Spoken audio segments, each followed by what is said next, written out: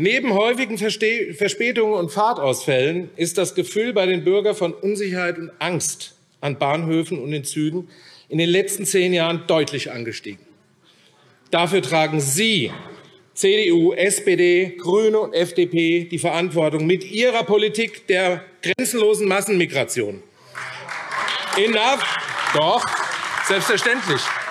Selbstverständlich tragen Sie die Verantwortung.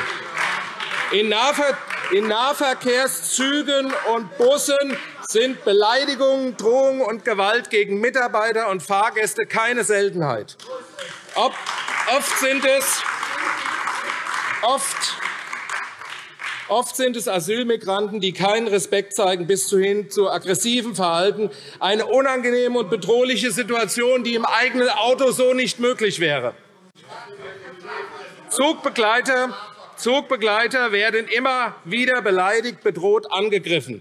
Viele haben Angst, Fahrkarten zu kontrollieren, wenn Gruppen junger Migranten im Zug sind.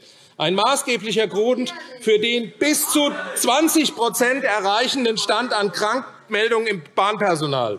Nehmen Sie die Realität zur Kenntnis, meine Damen und Herren.